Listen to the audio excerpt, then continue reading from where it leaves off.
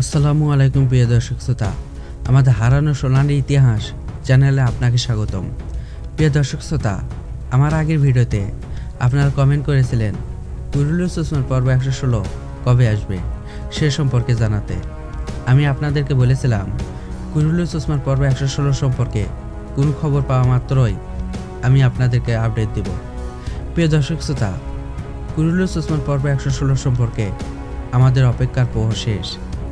আপনাদের জন্য আমার কাছে একটি দুর্দান্ত খবর রয়েছে যে কুরুলুস ওসমান শুটিং আবার শুরু হয়েছে এবং সমস্ত অভিনেতা সেটে পৌঁছেছেন।